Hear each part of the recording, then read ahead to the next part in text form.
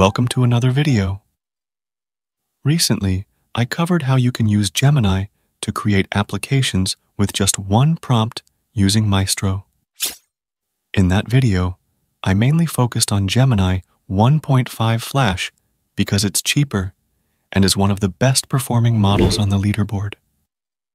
It can do almost everything you need without costing a lot. It may not be state of the art, but it's only 10 to 20% below the flagship models while being three times cheaper. So, overall, in cost to performance, it's really the king, like me. I tried it out in that video where I created multiple applications with it, and it works extremely well in coding. It even outperformed Sonnet in some of my tests. That's why I asked you if you wanted me to make a video using it as a co-pilot, and many of you said yes. So today, I'll be trying both the Gemini 1.5 Flash and Pro as my co-pilot to see if they can perform any better than GitHub's Copilot. Obviously, it will outperform GitHub's Copilot because it still uses the Codex model based on GPT-3, which is really bad.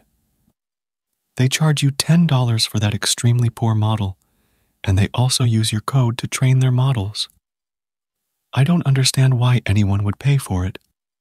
Anyway, to make the Copilot, we'll need a VS Code extension and for that, I'll be using the Continue Dev extension because it has all the features we want, like a chat interface, auto-completion, and importantly, Gemini support. So, we can easily configure it with Gemini. Also, it's open source, which is pretty cool.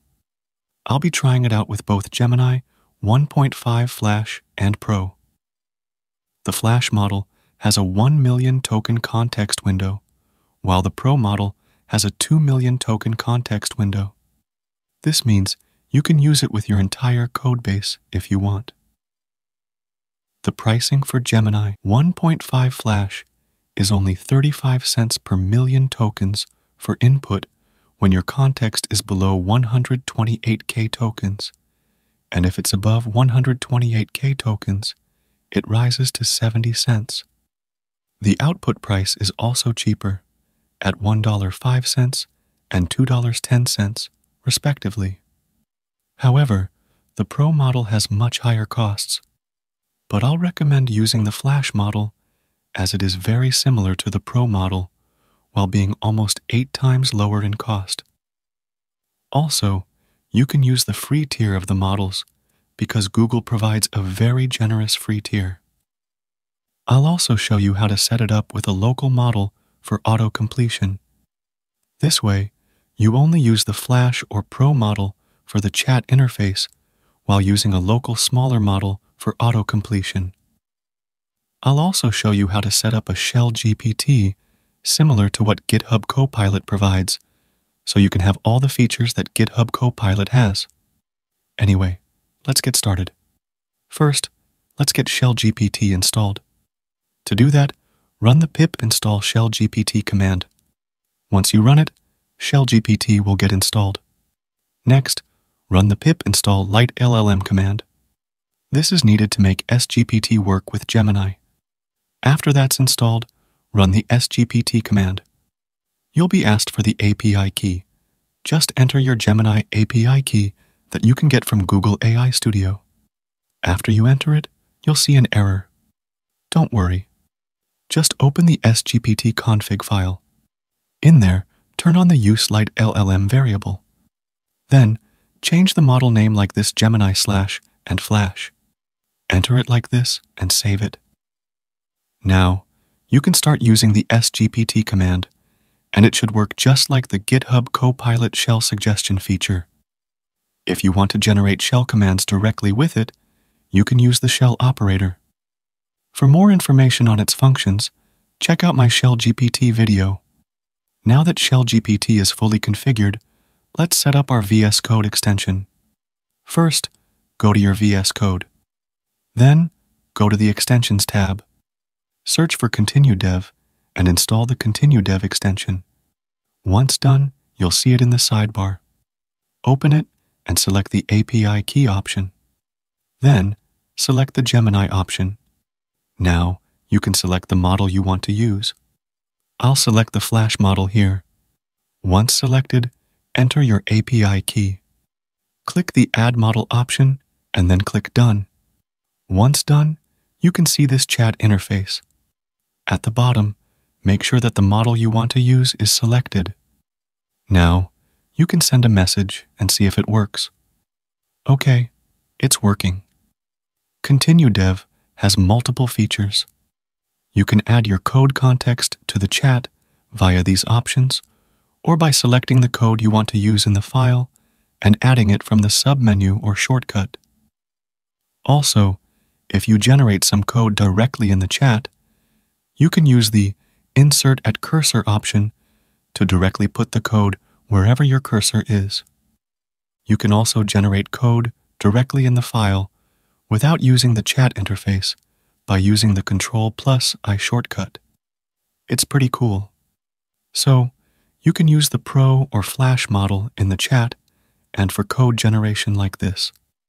But if you also want to use it for auto-completion, click the Settings button at the bottom and this file will open. In the autocomplete block, change the provider to Gemini and model to Flash or Pro. Also, add your API key. Once done, save it. Now, the autocomplete should start working. However, I don't recommend this. Autocompletion has too much context and is called every second, making it expensive and slow. Instead, the Continue Dev extension recommends using a smaller model for auto-completion, and I agree. For that, I'll recommend the DeepSeek Coder 1.3b model. It's small and works on almost all computers, even without a GPU. To get it installed, go to Ollama's site, click on the download button, choose your operating system, and install it. Once done, go to the Models page search for DeepSeek, select the DeepSeek Coder model, and select the 1.3b variant. Copy the command and paste it into your terminal. This will install the DeepSeek model. Once installed, you'll see the chat interface. Send a message and check if it works. Then, open the Continue Dev config file, change the model provider to Ollama and the model to DeepSeek Coder 1.3b and remove the API key part. Once done, save it. Now, the autocomplete should start working. It's pretty cool and works really well. I recommend using it like this. For autocompletion, the DeepSeek model works better. And for bigger tasks, where you need to generate whole blocks of code or fix something, use the Gemini Flash or Pro model. I tried the Pro model and it was very similar to the Flash model in these tasks. So, I'll recommend using the Flash model.